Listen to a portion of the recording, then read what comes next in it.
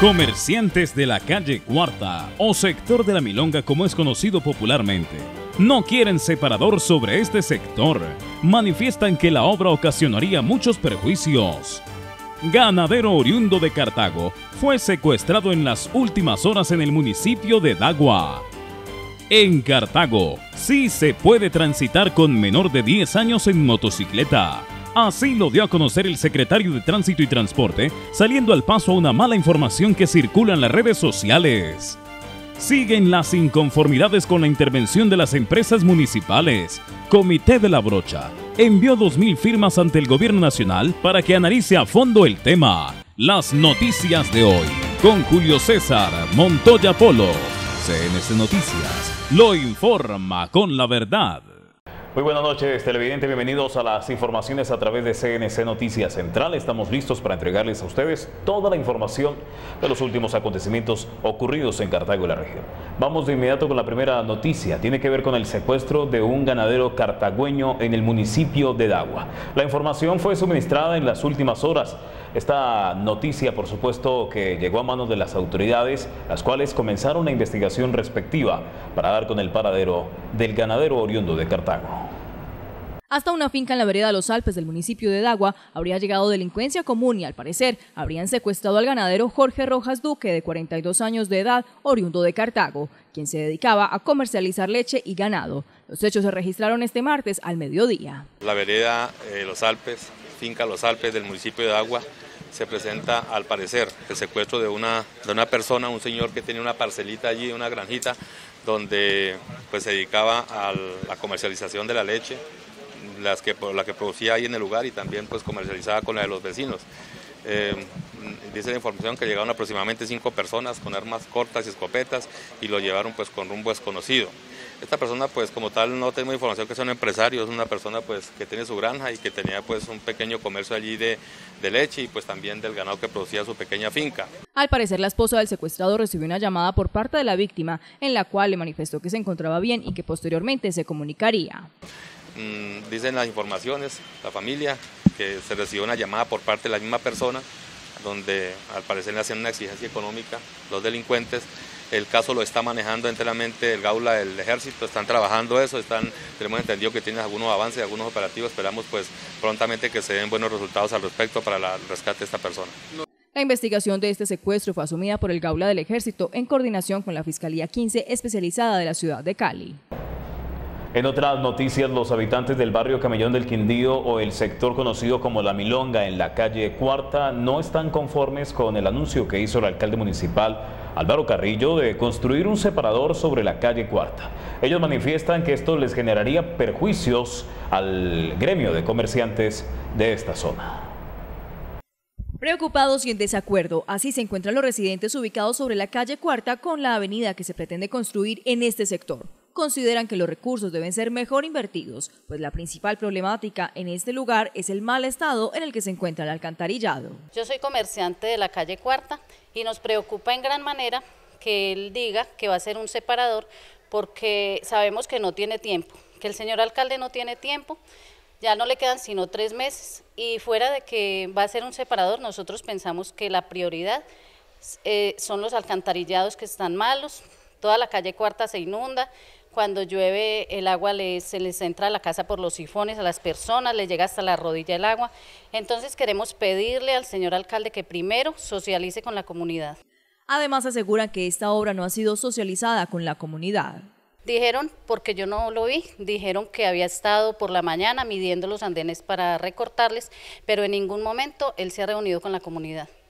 Los comerciantes hacen un llamado al alcalde Álvaro Carrillo para que sea replanteado este proyecto que consideran los va a perjudicar. Claro, ya nos hemos reunido todos los comerciantes y tenemos las firmas, ya le llevamos eh, la solicitud de la alcaldía, a la, a la procuraduría, a la personería.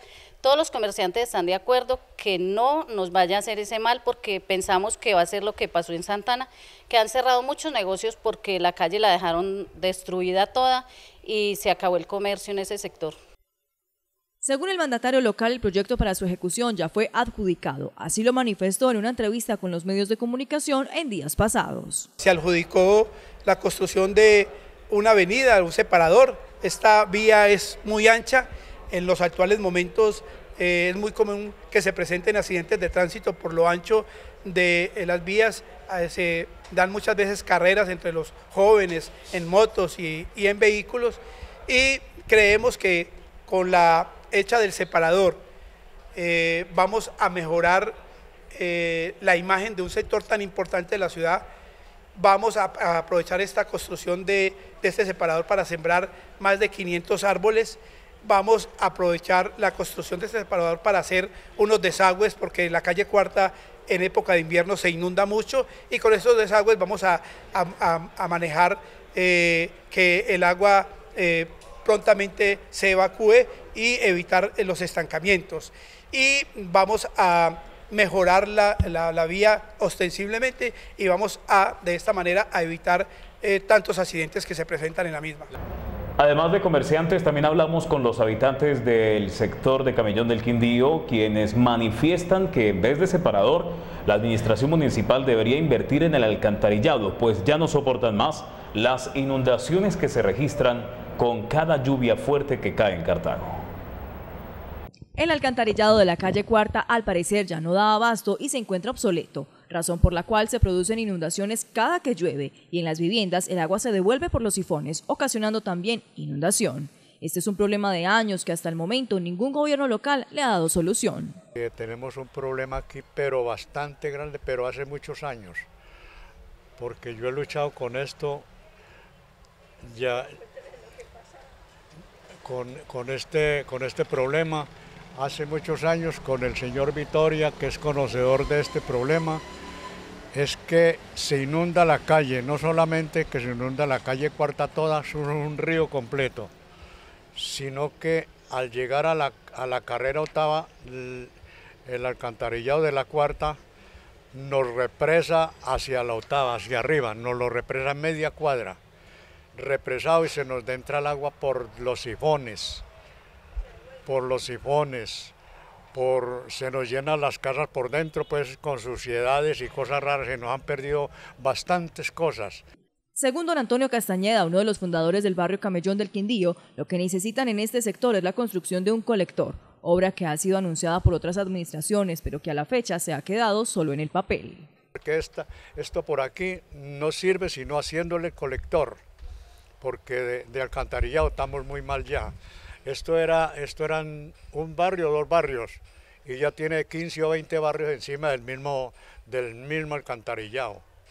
No es cierto que, el, el alcantarillado esté bien, que es, eso es lo que estamos reclamando, que ahora iríamos a quedar, en vez de colector, nos van a hacer otra obra puede que a mí, por ejemplo, para mí sería muy bonito, pero que tuviera mi alcantarillado bien, bien en forma. Entonces la nota sería que levanten, que hagan el alcantarillado y hagan su obra. Qué bonito fuera. Esto es lo que piden los habitantes de este sector, que primero les arreglen el alcantarillado, no solo para acabar por fin con las inundaciones que deterioran sus enseres y viviendas, sino también para que sus casas no se sigan desvalorizando. Bueno, mucha atención con esta noticia que le vamos a suministrar a ustedes a continuación, televidentes. Recientemente anda circulando en las redes sociales, en Facebook y a través del WhatsApp, un audio donde se manifiesta por parte de una persona que no se puede circular en motocicleta con niños menores de 10 años de edad. El secretario de Tránsito y Transporte de la ciudad de Cartago ha desmentido esta versión, manifestando además que el audio no es de aquí, es de un ciudadano de otra población del país. El secretario de Tránsito y Transporte de la ciudad de Cartago aclaró la situación que se ha venido suscitando en el municipio frente a una mala información que está circulando en las redes sociales, donde se manifiesta que en Cartago no se puede movilizar en motocicleta con menor de 10 años. Bueno, quiero decirle que ha circulado un audio en la ciudad de Cartago. Este audio es de un ciudadano del municipio de Itagüí en Antioquia. Allá, como pueden observar, es un departamento que viene haciendo pues muchas mejoras en tema de movilidad. Lo que dice el, audio es cierto, la norma establece eso, pero esos controles en Cartago no los vamos a, hacer, no los vamos a ejecutar, todo es que estamos haciendo una socialización de cada uno de los procesos. Hoy les estamos diciendo simplemente a los ciudadanos, compórtese, si lleva un niño, pues lógicamente llévelo con el casco reglamentario, pero desafortunadamente este audio que sale de la ciudad de Itagüí pasa a Medellín y hoy está invadido todo Colombia con este audio.